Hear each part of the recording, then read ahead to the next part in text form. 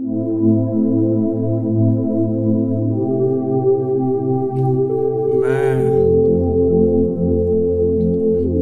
I'm.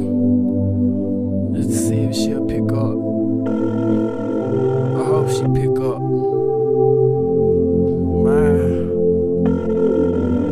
Please pick up.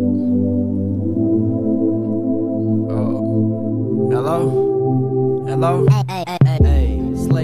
I know I'm not supposed to call, but I've been drinking, could've sworn I saw you in the mall. Now I'm lying, I just wanted your attention. All this extra sex with other girls trying to ease the tension. How am I supposed to get over you? Groupies ain't working. You was supposed to love me even when I'm imperfect. I've been trying to cut your picture out the frame, and I hate checking the mail, seeing envelopes in your name. But who is this nigga? There's no way that he's better, so fuck that nigga. I know I got you wetter. I've been tweeting all this bullshit that's relevant to you, and my homies will call me soft if I tell them I'm missing you. And I don't give a damn. Patron talking for me now. All these fucking strangers, and I'm feeling like I'm on the cloud. Used to write you love letters, but do that nigga do it? I used to lock them legs up. I bet he never could. Yeah.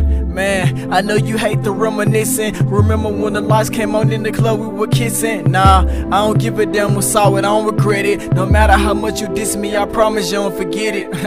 nah, but it's a new nigga you talk about. I'm mad as fuck cause it's me you supposed to be talking about. I see you answer, so I'm guessing that he's not around. I'm just leaving a part and you're wondering, can you meet me now? Damn, did I go over the beat?